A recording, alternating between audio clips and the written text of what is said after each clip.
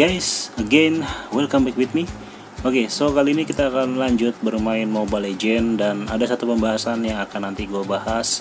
So ini bukan live streaming, karena akhir-akhir ini gue lagi sering main streaming ya, sering live streaming Mobile Legend. Tapi kali ini ini adalah video biasa yang nanti akan gue publish. So langsung aja kita ke pembahasan. Jadi kali ini gue akan ngebicarain tentang hero uh, marksman terbaik atau yang paling sering digunakan di arena legend. So di sini kita akan melihat dulu hero-nya. Ini adalah beberapa hero marksman atau biasa disingkat dengan MM yang bisa yang biasa kita pakai atau yang biasa sering kalian pakai. Di sini ada Mia, ada Moskow, ada Layla, ada Isansin, ada Clean, ada Bruno, dan yang terbaru ada Roger. Roger ini sebenarnya dia fighter juga, jadi fighter uh, MM juga lah ini kayak gitu. So kita akan ngebahasnya sambil kita bermain ya. Kita akan ngomongin tentang hero apa aja sih atau hero MM yang terbaik itu apa sih yang recommended untuk kalian pakai.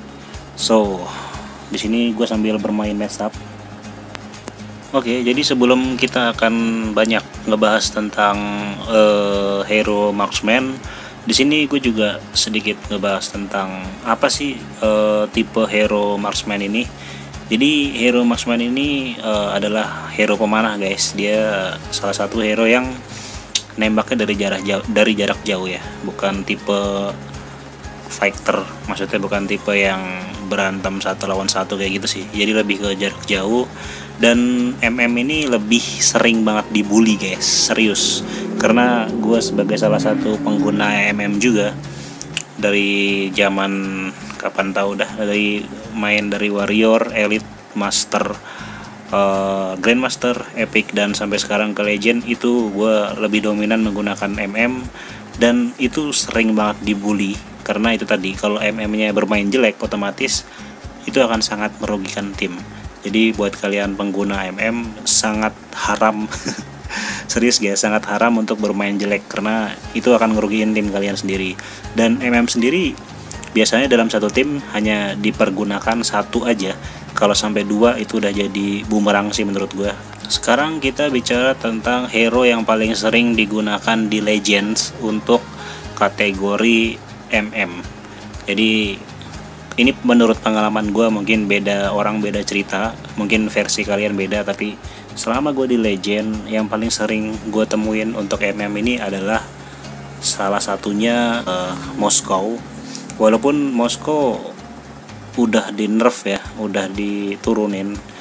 Udah di skillnya udah diturunin. Bukan skill sih apa ya the max semacam itulah pokoknya.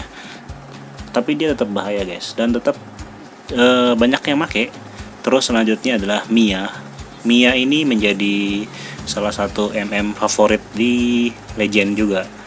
Mia bisa dibilang lebih sering dipakainya akhir-akhir ini aja ya. Kalau sebelumnya nggak terlalu guys. Sebelumnya itu dia justru jarang dipakai, bahkan bisa dibilang uh, yang nggak kepake. Tapi nggak tahu kenapa akhir-akhir ini justru malah banyak banget yang pakai si Mia. Mungkin memang karena ya emang dia bagus guys. Mia bagus terus uh, the nya parah sih demeknya parah dia. Selanjutnya Bruno. Ya Bruno bisa dibilang salah satu MM favorit juga di Legend. Dia menjadi favorit karena memang demeknya sakit guys. Apalagi kalau udah lagi war terus dia ngeluarin bolanya itu itu bahaya banget sih kalau kita nggak kabur. Itu darah bisa langsung tinggal dikit guys. Serius guys. Selanjutnya clean Clean ini juga salah satu hero favorit. Akhir-akhir ini sering banget dipakai karena lumayan damage-nya juga sakit. Terus uh, bahkan ada yang mengatakan teman gue ya bilang dia bilang uh, Clean ini jadi salah satu hero yang paling serem yang paling susah untuk ditaklukin karena damage-nya sakit. Dan juga attack speed-nya bagus guys. Jadi kalau udah kena kita susah buat kaburnya Clean juga sebelumnya menjadi hero yang jarang dipakai tapi akhir-akhir ini lagi banyak banget dipakai.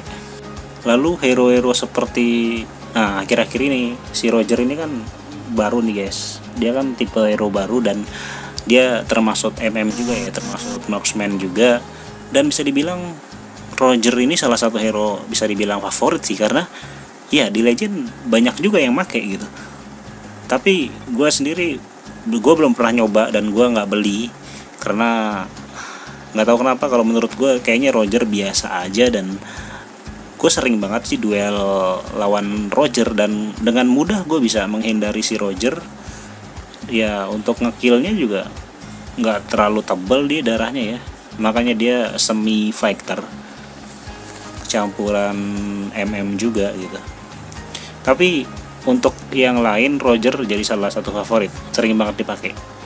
Kalau ada 5 uh, MM favorit yang sering banget dipakai di Legend seperti itu. Lalu hero yang jarang banget dipakai di legend di legendary itu kalau untuk MM nya ya jelas siapa lagi kalau bukan Laila. Gua nggak tahu kenapa Laila jarang dipakai. Padahal sebenarnya kalau boleh jujur Laila ini skillnya nggak ada yang jelek guys skill 1, 2, 3 nya tuh bagus semua. Dan itu sakit. Tapi ya masalahnya Laila kalau misalnya udah dikejar atau dia udah istilahnya udah mati langka itu gampang banget matinya. Dia nggak bisa kabur gitu loh. Karena emang dia nggak ada skill kabur. Beda sama Mia. Kalau Mia dia ada ada sedikit skill ngilangnya kan bisa kabur. Itu bedanya kenapa Mia eh kenapa Layla jarang dipakai di legendary. Ada satu ketinggalan ya? Eh, hero yang tidak pernah dipakai atau jarang dipakai. Ya ini guys. Yang lagi gue pakai ini bukan salah bukan favorit serius. Ini bukan hero favorit dan ya gue nggak tahu kenapa nggak ada orang yang pakai hero ini guys. Gue belum pernah nemuin di legend itu main ranking ya. Main ranking. Itu orang pada pakai isansin gue nggak pernah nemuin ada yang kayak gitu guys.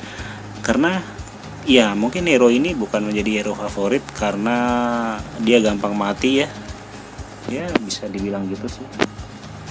Gue setuju sih sebenarnya kalau hero ini tuh sebenarnya gampang mati. Tapi tergantung yang pakai juga. Dan seperti Laila uh, emang mungkin belum saatnya aja Isansin menjadi hero yang banyak disukai kayak gitu.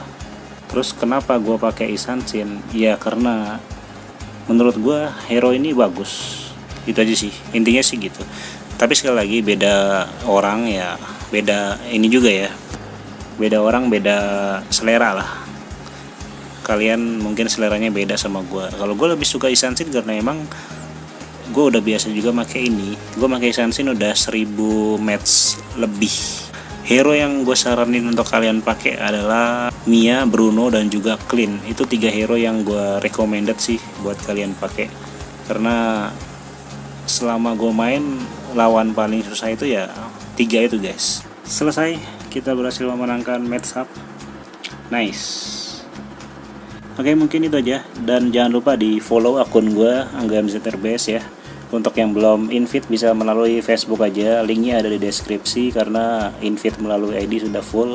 Setelah di invite jangan lupa di follow ya supaya kalian bisa melihat dan menonton ketika gue bermain guys so mungkin itu aja video kita kali ini membahas tentang tipe-tipe hero marksman yang sering digunakan di legend. Itu tadi yang gue sebut Bruno, Mia, Moskow, Clean dan juga satu lagi apa tadi ya? Uh, Roger. Cuman yang reko gue rekomendasikan adalah Bruno Mia ada Clean juga guys. Itu tiga hero yang gue rekomendasikan buat kalian pakai terus misalnya kalau kalian mau pakai hero yang gue pakai juga nggak apa-apa sih. Di sini gue hero yang biasa gue pakai adalah Isansin 1068 match dan gue bakal nunjukin ke kalian di sini Isansin top globalnya ya. Eh top global top lokal. Gua ada di posisi berapa ya?